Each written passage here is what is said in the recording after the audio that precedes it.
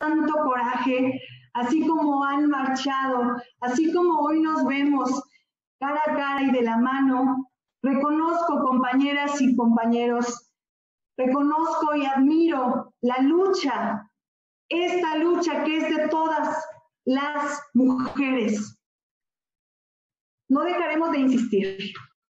No dejaremos de insistir hasta que nosotras podamos decidir sobre nuestro propio cuerpo.